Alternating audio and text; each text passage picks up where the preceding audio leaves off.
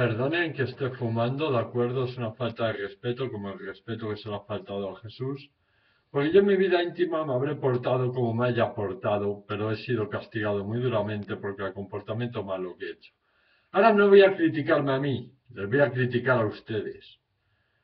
Ustedes se creen con el derecho de criticar y señalar con el dedo cuando se les puede torcer. ¿Qué quiero decir con esto?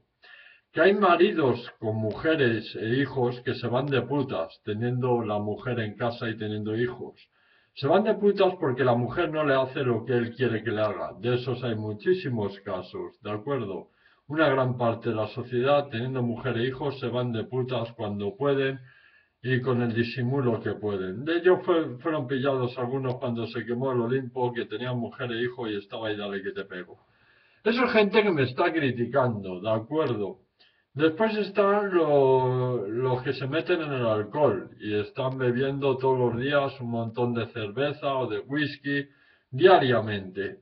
De acuerdo, esos también me están criticando y resulta que son alcohólicos y que tienen una vida perdida en el espacio-tiempo, ¿de acuerdo? También me están criticando. Después otro vicio, aquel que se cree que por ganar una primitiva o una lotería se va a hacer multimillonario y juega todos los días. Ludopatía. Un vicio, ¿de acuerdo? Bien, eh, quiero que sepan que antes de criticar con el dedo, el dedo se les puede torcer a ustedes, ¿de acuerdo? Estoy, estoy publicando muy seguro de mí mismo, pero muy seguro. Estoy fumando porque es el último vicio que me queda. No tengo más vicio que el tabaco. ¿De acuerdo? Bien, pues el viernes 3 de abril, Viernes Santo, nos vamos bajo coordenadas militares. ¿De acuerdo? Es así, la vida es dura, van a morir millones de personas. Pero es una elección que están haciendo ustedes diariamente, es lo que eligen muchas y muchos de ustedes. Motivo yo estaba aquí para ayudarlas y ayudarles a que tuvieran dignidad de vida y calidad de vida. ¿Me pueden decir qué dignidad y qué calidad de vida tienen en España? Una mierda. Les voy a decir el porqué. Con impuestos les están robando continuamente, a saco. Ya no con pistola, con bazocas. A través de los impuestos están robando a millones y millones de personas en España. No solo que estén robando, les están tomando el pelo los políticos, ¿de acuerdo? ¿Cómo hacen para tomarles el pelo? Encima de quitarles el dinero con los impuestos, después hacen fraudes a la, hacienda pública, es decir, hacen fraudes al, al, arca de los bienes públicos. Eso también es grave, ¿no? Aparte de ya todo lo que choricean, seguir choriceando más. Bien, codicia, vuelvo a decir, avaricia y envidia, que es lo que tienen los líderes de España. Por eso esos codiciosos y avariciosos acabarán pagándolo caro. Bien, por todos los países lo van a pagar caro, la codicia, la avaricia y la envidia, vuelvo a decir, es un gran problema. Yo estoy muy contento, muy tranquilo y muy seguro porque sé que el viernes 3 de abril, Viernes Santo, nos vamos a pirar, ¿de acuerdo? De ahí que esté totalmente relajado y tranquilo, ¿de acuerdo?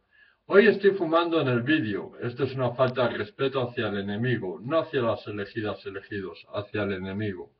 Sigo fumando en falta de respeto al enemigo. Bien, el enemigo que se cree que va a ganar y lo lleva claro, ¿de acuerdo? Porque el viernes 3 de abril, Viernes Santo, 11 de la noche nos vamos desde Valdecotos. Quiero que sepan que esto para mi familia y para mí ha sido un jueguecito con el enemigo. Nos hemos estado divirtiendo todo este tiempo hasta que llega la muerte de millones y millones de personas. Ha sido un juego divertido. Capitán General sí, Capitán General no. Capitán General sí, Capitán General no. En mi casa soy capitán, por lo cual me da lo mismo no ser Capitán General aquí, como comprenderán. El cargo de capitán en mi casa equivale aquí a general. De acuerdo es más o menos la equivalencia. En mi caso, un capitán es de más nivel que en cualquier parte de la Tierra un general. Bien, eh, somos entrenados dura y severamente, ¿de acuerdo? De hecho, yo he sido entrenado por la naturaleza muy dura y severamente. Más duros que los marines de los Estados Unidos, así me ha entrenado a mí la naturaleza. Eso ha sido visto por gente, por alguna gente, ¿de acuerdo? Y vuelvo a decir, antes de criticar y señalar con el dedo, tengan cuidado que se les tuerce, ¿de acuerdo? Porque algunos y algunos de ustedes tienen hijos que son drogadictos, es decir, que se ponen hasta el culo. Y ustedes se hacen los ciegos ante la situación y luego critican con el dedo. ¿eh? Luego critican con el dedo. Bien, pues creo que me he expresado correctamente. Partimos el 3 de abril, Viernes Santo, a las 11 de la noche de Valdecotos. Y que esté libre de culpa el que tire la última piedra. Que esté libre de culpa. A ver si está libre de culpa el que tire la última piedra. Me parece que aquí son culpables todas y todos. Porque todas y todos han cometido fallos en el pasado, en sus vidas. Hasta el más bueno ha cometido fallos en sus vidas, por lo cual yo soy no criticable. Es decir, no criticable, de acuerdo, por ustedes, no criticable, porque del más pequeño al más mayor han cometido fallos y pecados todas y todos ustedes. El que esté libre de culpa, que tire la última piedra, si es que tiene cojones de tirar la última piedra y decir que estoy libre de culpa, porque ese estaría mintiendo. Bien, pues nos vamos el viernes 3 de abril, Viernes Santo, ya lo saben, a las 11 de la noche de Valdecotos. Viaje que espero que no sea manipulado.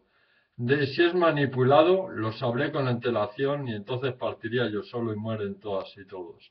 Eso si vuelve a ser manipulado, viernes 3 de abril a las 11 de la noche desde Valdecotos. Creo que me he expresado correctamente. Aquí van a morir millones de personas más que merecido, nada más que decir eso. Y nos vamos, elegidas, elegidos, viernes 3 de abril, 11 de la noche de Valdecotos, bajo coordenadas militares. Muchas gracias, se despide Jesús.